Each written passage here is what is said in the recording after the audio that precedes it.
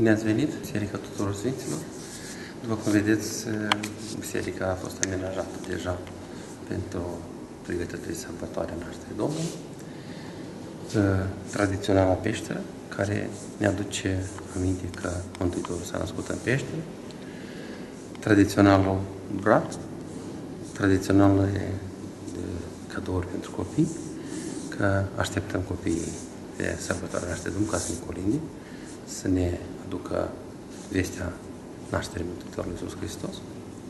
Și deci, în straile luminoase, suntem pregătiți de a întâmpina Mântuitorul Iisus Hristos.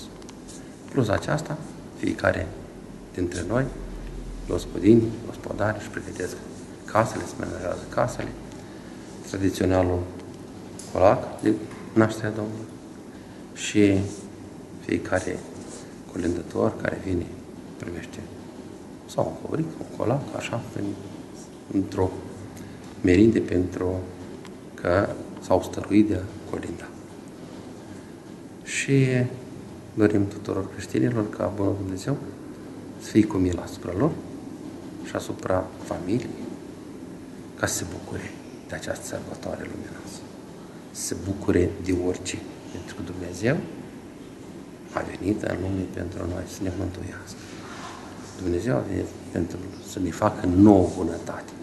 Depinde de noi mai departe acum cum ne comportăm, cum privim toate lucrurile în jur, ca să le facem bune, să le facem toate lucrurile pentru noi, ca să ne fie comod. Deși noi ne dorim când vine anul nou, da, se apropie anul nou, trecem dintr-un an în altul, fericire, sănătate. Noi această fericire noi ne facem. Sănătatea noi ne păstrăm. Numai noi ne rugăm Dumnezeu ca să ne mențină pe noi sănătoși și fericiți.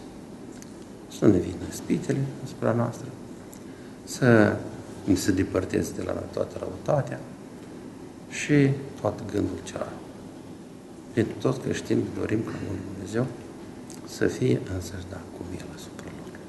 La mulți ani, sănătoși și să ne vedem de sărbătoarea nașterii Domnului cu un corind luminos ca să slăvim pe Dumnezeu.